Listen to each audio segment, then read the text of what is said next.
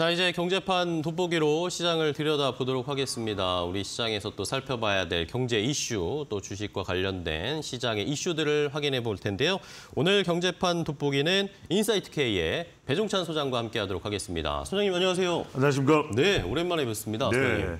방송도 하는 거 저희 굉장히 오랜만이네요. 그러니까요. 같이 정말 이데일리에서 4, 5년 전인가요? 우리 어, 원조 팀을 꾸렸었는데. 네, 개장 방송 열심히 했었는데 그죠? 예. 좋습니다. 오늘은 호수 같은 방송을 하겠습니다. 아유 감사합니다. 자 그러면 오늘은 어떤 이야기를 좀 해볼까요, 소장님? 우선은 지금 어, 우리가 뭐 주도주에 역시 주목을 할 수밖에 없고요. 그렇다면은 반도체하고 2차 전지가 조금 살아날 분위기인가. 음. 결국 뭐 살아나든 안 살아나든 우리가 반도체 2차 전지를 벗어나기 그렇죠. 힘들어요. 네. 일단은 우선적으로 좀 짚어볼 부분은 미국입니다. 그렇습니다. 그동안 우리가 계속해서 뭐 어, 기준금리 인상에 대해서 어떻게 될까 이제 불확실성 또 불투명성이 음. 계속 지속이 되고 왔는데 이제는 어느 정도 좀 경기 둔화가 어, 분명해지지 않나 그렇다면 물가 상승에 대한 부분도 뭐 조금 하반기에 네. 소폭 더 올릴 수는 있겠지만 이전처럼 뭐 giant step, giant step, 또 giant step 이렇게 가지는 않을 것 같아요. 네. 결국 올해 내에 기준금리 완화는 힘들겠다. 음. 그럼 이제 내년 정도에 기대를 해볼 수 있을 거고 이제 이런 부분들이 좀 구체화되는 것 같아요. 네. 그래서 우선 발표가 됐죠. 미국의 어, 개인 소비 지출 PCE 그러니까 CPI보다는 오히려 미국 연준에서 더 주목으로 하고 기준으로 삼는 지수는 역시 PC입니다. 네. 그래서 이제 5월 지수가 발표됐는데 시장 전망치를 하회했다. 음. 그러면 이제 인플레이션에 대한 어, 큰 우려가 조금은 좀 꺾였다 이렇게 볼 수 있을 테고 네. 그러면 이제 달러 약세에 따라서 위험 자산 뭐 주식이나 등이 되겠죠. 어, 선호 심리가 강화됐다. 음. 그럼 우리 시장으로 봤을 때는 나쁠 건 없는 것이거든요. 원 달러 환율도 1,310원대에서 안착을 하고 있다. 그건 이제 안정화되어 가고 있다는 이야기고. 음. 그러면 외국인들 자금이 그렇게 빠져나갈 일도 그렇게 크진 않다. 음. 이렇게 본다면 금리 인상 가능성에도 이 긴축 공포는, 공포는 많이 약화됐다. 이제 좀 불투명성과 어, 불확실성이 조금 제거되고 있다. 음. 이렇게 일단 우선 볼 수 있을 것 같습니다. 그러니까 미국 시장이 이렇게 확인이 되면 이제는 좀 하반기로 옮겨갈 수가 있거든요. 네. 그러니까 최근에 우리 주식시장도 그렇고 뉴욕 증시도 좀 꿈틀거리는 건 뭐 이른바 본격적인 썸머 랠리다 음. 아니다를 떠나서 하반기에는 어떻게 흘러갈지 이제 조금 분명해진다. 음. 그림이 그려진다 라고 이제 판단할 수가 있겠죠. 네.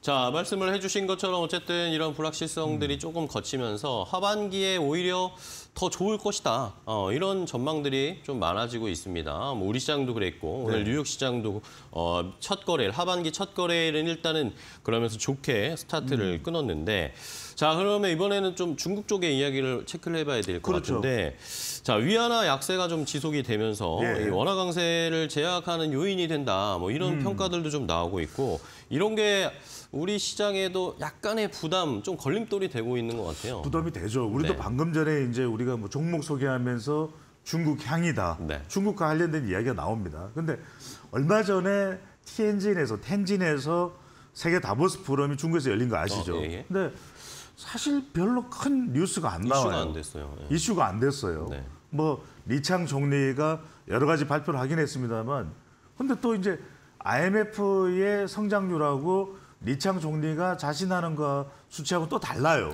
어. 그 이야기는 뭐냐면 위안화가 약세다. 결국 돈이 말해주는 겁니다. 여러분들은 돈을 보셔야 돼요. 결국 위안화가 약세라는 것은 뭐냐면 그만큼 중국 경제가 기대치만큼 회복되고 있지는 않다.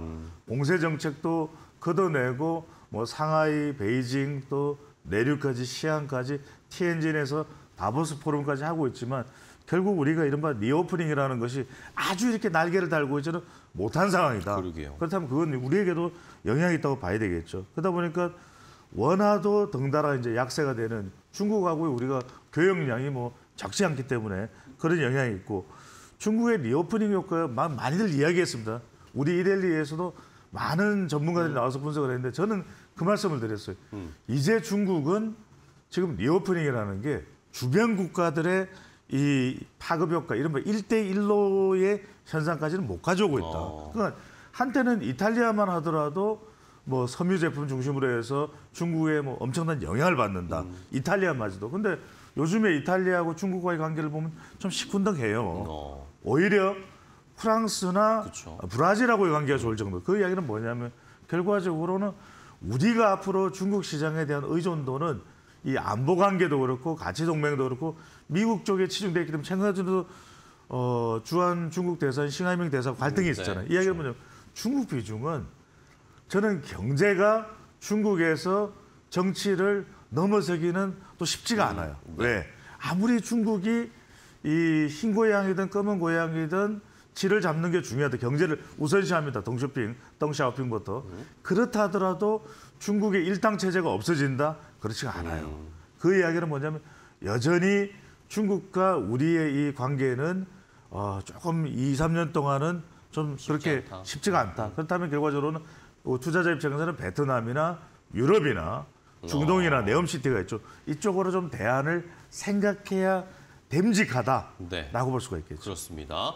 자, 과거에 중국 영향을 우리가 시장에서 많이 받았는데 이런 것들은 이제 올해나 뭐 한 2, 3년 사이에는 조금 우리가 시선을 돌려볼 필요가 있겠습니다. 자, 그렇다면 결국에 우리 시장을 조금 뭐 다시 살리고 조금 더 level up 되는 건 결국에 반도체, 그렇죠. IT 반도체 시장이 결국엔 다시 회복이 돼야 되는데 자 이렇다면은 어, 이 회복에 관련돼서 우리 시장 어떤 반응이 좀 필요할까요? 결국 저는 7일이 디데이다. 오늘이 4일이죠. 그쵸, 그쵸. 7일이 디데이. 7일이 금요일에. 77일. 왜 디데이입니까? 삼성전자 그렇죠. 삼전 그러니까 우리가 삼전을 어떻게 생각 안 할 수가 없습니다. 그쵸. 우리 경제도 그렇고 우리 주식 시장도 그렇고 대장주잖아요. 결국은 외국인 자금이 그래도 삼성전자를 계속 사는 이유는 뭐냐? 결국 반도체다. 그쵸. 반도체라는 것이 그러니까 업황이 안 좋을 때도 외국인들은 사들이고 있다는 거예요. 그게 뭐냐? 어느 순간 9월이든 업황이 좋아지면 먼저 이 열매를 가져가는 쪽은 또 외국인이 될 수 있다. 이렇게 우리가 볼 수 있겠죠. 어느새 또 어, 7만 전자를 넘어섰어요. 그 얘기는 8만 전자, 9만 전자까지도 어 그래? 한번 기다려봐. 기대를 해봐. 이런 식이 된다는 건데 결과적으로 중요한 건 7월 7일 발표되는 2분기 실적입니다. 근데 네. 많은 분들은 긍정도 있고 우려 반, 긍정 반이에요. 그러게요. 그런데 저는 이런 생각이 듭니다. 중요한 건 뭐냐면 핵심은 뭐 earning shock냐 earning surprise라는 게 중요한 게 아니라 바닥을 그래도 쳤느냐. 그래도 삼전이 감산을 했고 NAND flash 가격과 디램 가격이 뭐 좀 주춤하다가 조금 더 안정화되고 있고 네. 중국이 우려됐는데 중국의 어, 시안 공장이 그렇게 또 중국이 뭐 갈등 때문에 아이 삼전 재미없을 거야 이게 아니거든요. 네. 그렇다면 그런 또 우려들도 외부 변수도 좀 많이 해소가 됐다. 음. 그렇다면 대체적으로 어, 바닥이 통과된 거 아니냐 어. 이런 판단을 선다면 개인들도 저는 어, 매수세도 우리 어. 어, 개미 투자자들도 좀 늘어날 수밖에 없어요. 왜냐하면 결국은 삼성전자의 이 반도체라는 것은 대한민국 경제의 한 축일 수밖에 그쵸. 없거든요. 네. 그런 점에서 움직이고 있다라고 볼 수 있겠습니다. 그렇습니다. 자 결국에는 이번 주이 가장 큰 우리가 살펴봐야 할 이슈는 결국에 삼성전자 장- 잠정 실적 발표고요. 자 그러면서 뭐 말씀해주신 것처럼 삼성전자나 SK 하이닉스나 뭐 예. 아니면 그 밑단에 있는 또 소부장 업체들도 그 이제는 어쨌든 실적 바닥 찍고 좀 턴하지 않을까 이런 시선들이 좀 그래도 그렇죠. 확장 커지는 것 같아요. 그렇죠. 이제 이 대목에서 이제 종목을 좀 본다면 그러면 삼성전자를 담느냐? 꼭 그렇지만은 않아요. 그쵸. 왜냐하면 어차피 삼성전자는 워낙 큰 덩어리이기. 때문에 네.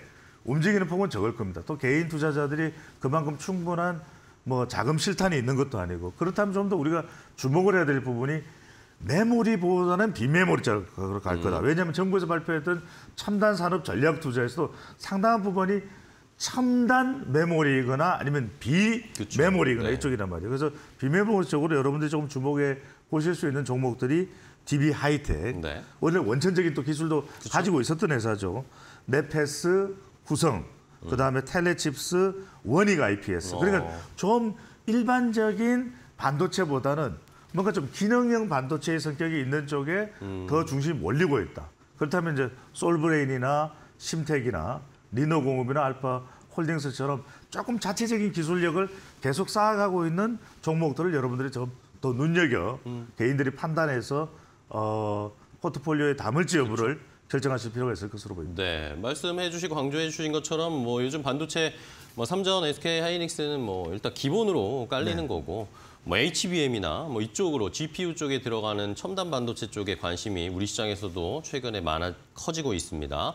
자, 반도체는 뭐이 정도로 한번 정리를 해보겠고요. 결국에는 어제 우리 시장이 굉장히 좋았던 이유는 반도체도 잘 갔는데 2차 전지도 잘 가니까 그렇죠. 지수가 점프를 했습니다. 결국에는 2차 전지 관련해서 어떤 모습을 보이는가가 굉장히 중요한데 뭐 테슬라도 최근에 판매량이 좋은 상황이고 이러다 보니까 2차 전지들의 어, 좋은 흐름 계속 이어질 수 있다고 보세요? 아니 그 2차 전지는 계속 갈 수밖에 없어요. 네. 왜냐하면 전기 자동차는 팔릴 거 아니에요. 더 숫자가 그쵸. 바뀔 거 아니에요. 왜냐하면 지금 메이저 자동차들도 이제는 2025년, 2026년 가면은 내연기관 차량 생산 안 한다 그래요. 네. 그럼 전기차로 가는 거예요. 그다음에 또 에너지 저장 장치니까 ESS 이쪽도 계속 커질 수밖에 없고 결과적으로는 대한민국이 가장 경쟁력을 아니, 그러니까 윤석열 대통령도 프랑스의 이 부산 엑스포 때문에 같이 뭐라고 이야기합니까? 2차 전지는 우리가 프랑스에다가 투자해 줄게. 음, 이건 유럽의 아직 기축 국가인 또 프랑스보다도 오히려 우리가 더 앞서 있는 기술이라는 어. 이야기거든요. 그다음에 앞으로 이 소비량도 광대해질 수밖에 없는 거 시간이 지나면 네옴시티 이런 것도 다 2차 전지예요. 네. 그렇다면 결과적으로는 테슬라의 판매량이 늘어났다. 왜? 가격을 내리니까 늘어나는 거거든요. 이런 현상이 앞으로도 계속 있을 수밖에 없다. 그렇다면 결과적으로 SK 이노베이션, LG 화학, 그다음에 에코프로 이 삼형제잖아요. 그다음에 또 우리 이 어, 포스코가 있고 네. 홀딩스가 있고 이런 쪽은 여러분들이 계속 눈여겨 보면서 조금 조정이 될 때, 음. 조정이 될 때 본인이 판단할 때 저가가 형성됐다. 이럴 때는 조금씩 조금씩 들어가는 게 좋은 거죠. 결국 네. 반도체와 2차 전지는 두 축으로 갈 수밖에 없다. 그렇다면 이 상황에서 여러분들 뭐라 그랬습니까? 에코프로 100만 원 갈까? 뭐 배터리 아저씨야? 배터리 아줌마야? 배터리 조카야? 그런데 결과적으로는 이게 다 현실화되고 있거든요. 네네. 그 이야기는 뭐냐면 이게 허황된 너무 PR을 높게 잡다 잡았다 아니다라가 떠나서 음. 결과적으로 계속 시장이 확대될 수 있는 것은 근육의 양이 늘어날 수 있는 것은 네. 이 2차 전지 쪽일 수밖에 없다라고 판단을 해야 되겠죠. 그렇습니다. 자, 결국에는 뭐 우리가 못 잡고 지나가 버리면은 뭐 수익을 못 올립니다. 에코프로 어제 결국에는 20% 하루에 오르더니 91만 원까지 올라갔습니다. 그렇죠. 100만 원 코앞에 있는 상황이고요. 자, 그럼 이제 마지막 질문인데 결국에는 우리 시장에 어, 우리 시장이든 산업이든 경제든 결국에는 이제 이 구조가 굳혀지는 것 같습니다. 반도체와 2차 전지가 함께 가야 그렇죠. 시장이 어쨌든 폭발적으로 좀 상승할 수 있을 것이라고 보는데 앞으로의 전망 어떻게 보세요? 저는 그래서 뭐 반도체 2차 전지는 누구나 다 이야기하는 거기 때문에 저는 경기 민감주에 좀 더 관심을 어, 기울이시라. 음. 이럴 때 미국의 IRA법에 가장 그래도 독보적으로 혜택을 받을 수 있는 한국 회사가 하나 솔루션이나 또는 어. 오시아입니다. 이런 부분이 여러분들이 중장기적으로 좀 주목을 하실 필요. 또 하나는 전선 쪽에 왜 모든 인프라가 2차 전지가 뭐든 깔리면은 거기는 전선이 필요하거든요. 그렇죠. 우리가 전 세계적인 전선 경쟁력을 가지고 있는 회사가 LS예요. 그래서 LS도 그렇고 LS 인터내셔널도 그렇고 이제는 그룹사 쪽으로 여러분들이 좀 더 관심을 가질 필요가 어. 있다. 하나 오션까지 지금 삼킨 하나 그룹 그리고 전선 경쟁력을 바탕으로 인프라 구축으로 들어가는 LS 이런 쪽에 여러분들이 좀 더 주목하시면서 원전 방산 우주항공 쪽에도 좀 예의주시를 하실 필요가 있겠습니다. 알겠습니다. 자, 반도체 2차 전지 결국에는 우리 시 이제 경제의 기반 산업이 됐고 여기에 플러스 오히려 시선 투자 시선은 경기 민감주 쪽으로도 오히려 좀 들여다볼 필요가 있다라는 의견을 주셨습니다. 자, 오늘 경제판 돋보기 인사이트 K 배종찬 소장과 함께 했는데요. 소장님 오늘도 좋은 insight 주셔서 감사하고 다음에 또 뵙도록 하겠습니다. 오늘 고생 많으셨습니다. 감사합니다. 고맙습니다.